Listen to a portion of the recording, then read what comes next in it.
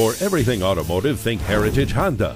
Heritage Honda's two locations means two times the selection, two times the savings, and two great ways to save on hundreds of new Hondas.